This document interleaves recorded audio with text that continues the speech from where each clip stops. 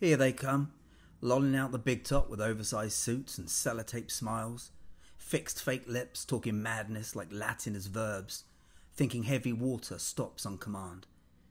They wobble into cars, playing tricks for TV. It's all flops, flips, preferring improvisation for ringmasters, spinning tiny wheels on little trikes, pedaling nowhere.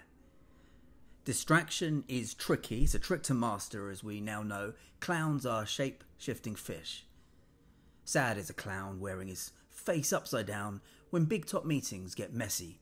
Messages mixed up with policy changes, high up on ropes as acrobats edgily walk, egged on by clowns roaring below.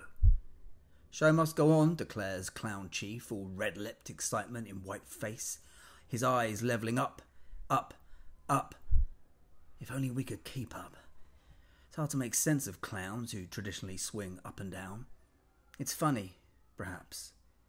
It's your show, they shout. You voted for it.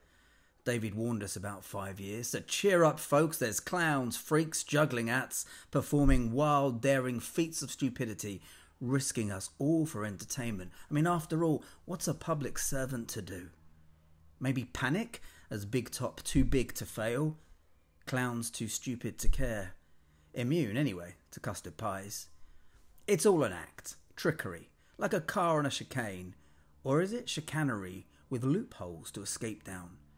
The hatch and lever, voila, venality contract out of hat from money trees, from friends, for favours from those big top schools, making clowns who do clowns to keep the merry going round.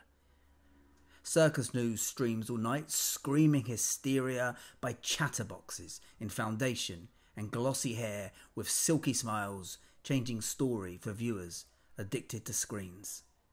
It's an improvisational dream, this blaring out of clown dreams or whims and thoughts, tailored tightly, rhetoric fits a table in extraordinary meetings where extroverts not quite able to be movie stars, rehearse monologues.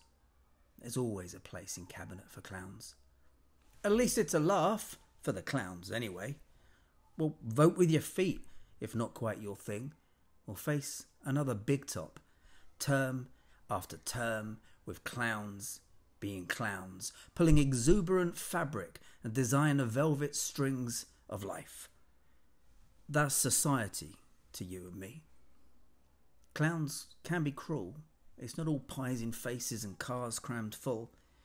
They sell bullets to fund their other big tops too, with smiles when water squirts from a rose confirming your vote.